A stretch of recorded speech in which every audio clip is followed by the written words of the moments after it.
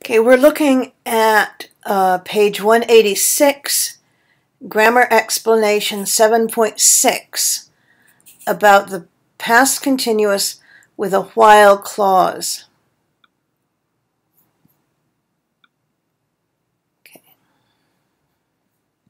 Okay, we use the past continuous with the simple and the simple past in the same sentence to show the relationship of a longer past action to a shorter past action, and while will be with the past continuous to express the longer action, and then the simple past will be in the clause that expresses the shorter action.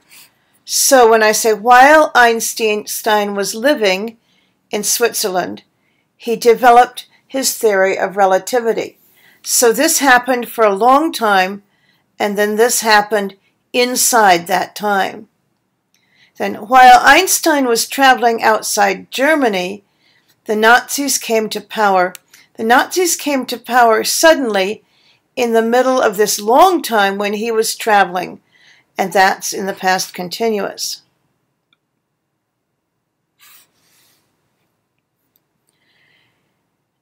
Okay, we use the when and the simple past for shorter action so Einstein was living in the US when he died. This is the shorter action, that, and this is the longer action.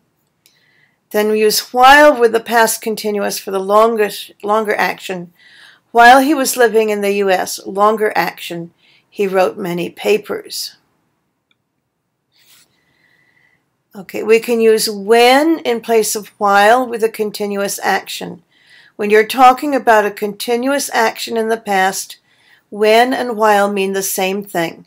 So you can say, when Einstein was living in Switzerland, he developed his theory. Or while Einstein was living in Switzerland, he developed his theory. Those are both correct. But in an action that has no continuation, that's not continuous in the past, then you never use while and you have to use the simple past. So when I see these two dots, that means the sentence is wrong. It's something we don't say.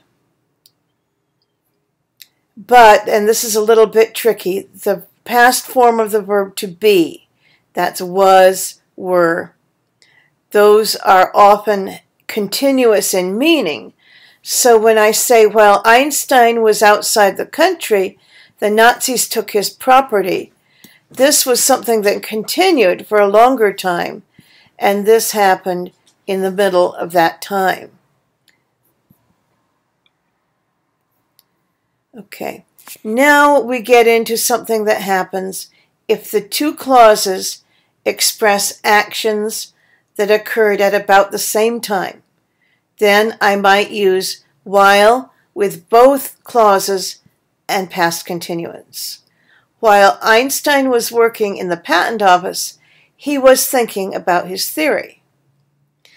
And the same thing can happen using simple past in both clauses when the two actions occurred at about the same time, so new arrivals waited at Ellis Island while inspectors checked their documents.